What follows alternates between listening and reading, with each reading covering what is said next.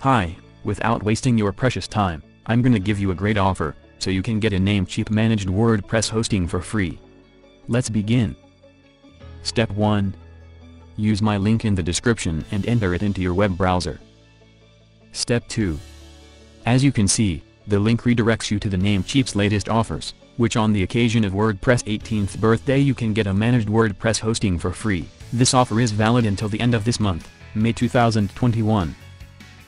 Step 3. All you have to do is click on the hosting and email button, then select one of the hosting plans.